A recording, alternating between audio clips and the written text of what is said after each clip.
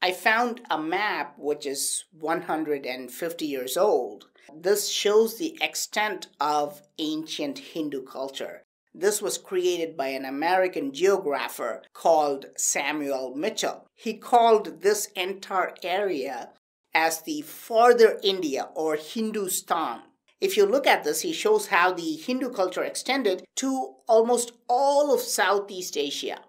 So, this is a reason why archaeologists are unearthing so many Hindu artifacts in this region. Malaysia has unearthed hundreds of lingams. This was found in Bujang Valley. And they also found lots of pedestals or yoni. Most of them are all kept in museums now. But the cylinder parts, they're all gone.